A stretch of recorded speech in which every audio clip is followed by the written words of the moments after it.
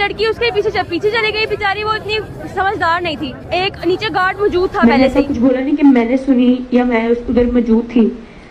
दोस्तों, पंजाब कॉलेज लाहौर से और ज़्यादा वाक़ सामने आने लग गया। लड़कियों का कहना है कि लड़की के साथ जिनसे ज़्यादा हुई है पंजाब कॉलेज के अंदर, लेकिन हुकूमत इस बात से साफ़ इनकार कर रही है। ये है एक ही लड़की के वो बयान। जब वो प्रोटेस्ट करती होती है तो तब वो कुछ कहती है, लेकिन जब मरियम नवाज़ के साथ बैठती है तो इसके बयान ही बदल जाते हैं। सुना था कि लड़कियाँ बहुत अच्छा रट्टा मारते हैं, लेकिन इस लड़की की प्रेस कॉन्फ्रेंस देखकर समझ भी आ गई। इस लड़की का या तो पहला बयान गलत था, या तो दूसरा बयान गलत था।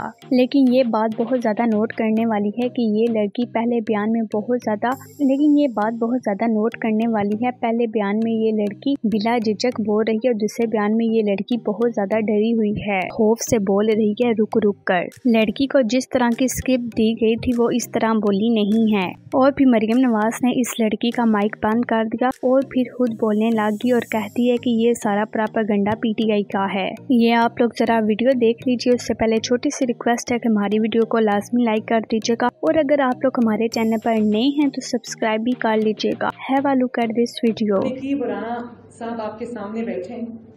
इन्होंने कहा कि जब लड़की ने प्रेस कॉन्फ्रेंस में मरियम नवाज़ के डर से ये बोला कि मैंने जो पहले प्रेस कॉन्फ्रेंस में बोला था वो सब कुछ झूठ था और मैं जो अब बयान दे रही हूँ वो बिल्कुल ठीक है। मरियम नवाज़ की जानब से इस लड़की का माइक बंद कर दिया गया क्योंकि लड़की स्किप के मुताबिक बिल्कुल भी नहीं बोल सकी। और फिर मरियम नवाज़ को खुद अपनी सफाइयाँ देने की ज़रूरत पड़ गई और वो सफाइयाँ देने लग गई लड़की का माइक बंद करके। अजीब बात तो ये है कि मरियम नवाज़ की इस प्रेस कॉन्फ्रेंस के अंदर जरताज गुल की बहन भी बैठी हुई है। और इस प्रेस कॉन्फ्रेंस में ये बताया जा रहा है कि पंजाब कॉलेज वाली लड़की के साथ कोई ज़्यादा नहीं हुई, कि ये जो स्टूडेंट प्रोटेस्ट कर रहे हैं, ये सब के सब पागल हैं। और मरियम नवाज़ का कहना था कि मेरे साथ जरताज गुल की बहन भी बैठी हुई हैं, जो इसी इसी कॉलेज के अंदर टीचर हैं। आगे से मरियम नवाज़ ने कहा, बेशक हमारी इन लोगों के साथ नहीं बनती, लेकिन सरताज गुल की बहन हमारे साथ बैठी हुई हैं। इन्होंने सारे का सारा मामला इमरान खान पर डाल दिया है। मरियम नवाज़ का फरमान है कि पीटीआई एक दहशतगर्द जमात है। और मरियम नवाज़ कहती है कि ये तमाम तलबा तलबात पाकिस्तान से नहीं, बल्कि दूसरे ममालिक से आए हुए हैं। मरियम नवाज़ के मुताबिक ये तलबा तलबात इमरान खान की साजिश है। ये सारे का सारा मामला स्क्रिप्टेड है। इसका दूर दूर तक कोई वास्ता नहीं है। लेकिन सबसे अजीब बात यह है कि जो मामला पेश आया वो पंजाब कॉलेज के अंदर पेश आया। कैमरे छुपाए गए, पंजाब कॉलेज के अंदर छुपाए गए।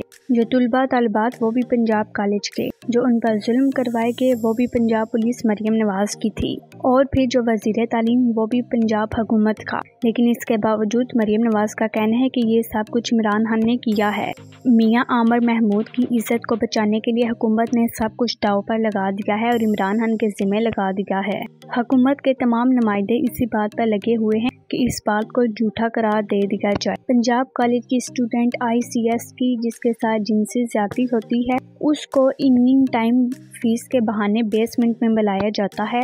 वहाँ पर कॉलेज का ड्राइवर और गार्ड बच्ची के साथ जिनसी ज़्यादा करते हैं और बच्ची की चीखें टीचर और स्टूडेंट ने भी सुनी और कॉलेज के अमले ने ही एंबुलेंस बुलाकर इस लड़की को अस्पताल में पहुँचाया। अगर ऐसा कुछ नहीं हुआ तो कॉलेज के प्रिंसिपल लोगों ने बच्चियों को धमकियाँ की दी अगर आप लोगों ने ये सब कुछ भाई बताया तो हम आपकी रोल नंबर स्लिप रोक लेंगे और आप लोगों को पेपर दे नहीं देंगे। क्यों बेसमेंट के अंदर लगी हुई कैमरे की फुटेज को डिलीट कर दिया गया? आह, ये सारा कुछ मामला इस कॉलेज के अंदर हुआ है? मरियम नवाज़ पास झूठ बोल रही है तो नाजरीन, आपकी क्या राय है? नीचे कमेंट बॉक्स में अपनी कीमती राय के साथ ज़रूर कर दीजिएगा। मिलते हैं नेक्स्ट वीडियो में तब तक के लिए हम आप लोगों से इजाज़त चाहते हैं। अल्लाह हाफिज।